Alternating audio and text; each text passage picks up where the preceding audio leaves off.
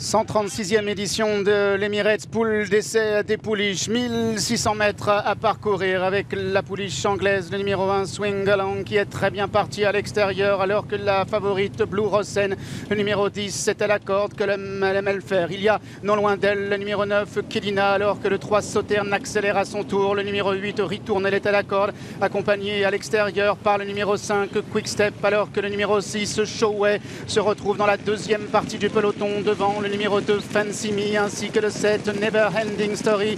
Le 4 Lindy est pour le moment en léger retrait. Et c'est ainsi le numéro 3 Sauterne qui est aux commandes avec une longueur devant l'As Swing Long en troisième position à la corde. C'est le numéro 10 Blue Rosen accompagné en quatrième position tout près euh, par le numéro 9 Kelina alors que Quickstep le numéro 5 vient à l'extérieur. Ritournelle le numéro 8 en orange est à la corde. Elle est maintenant en sixième position devant Fancy Me pendant que le 4 Lindy vient à l'extérieur devant le 6 Showway ainsi que le numéro 7 Never Ending Story. Elle débouche maintenant dans la dernière ligne droite et sont désormais à l'open stretch avec Sauterne numéro 3 qui décide de réaccélérer devant Blue Rosen qui vient dans son sillage. Swing Long est en troisième position. Quickstep qui maintenant vient à l'extérieur accompagné par le numéro 4 Lindy qui tente maintenant de repartir. Sauterne est côté corde avec Blue Rosen de mieux en mieux qui prend l'avantage maintenant. Blue Rosen qui se détache de Sauterne qui vient deuxième ou encore de Lindy qui est en troisième position et Blue Rosen qui va triompher dans la poule des CD le premier classique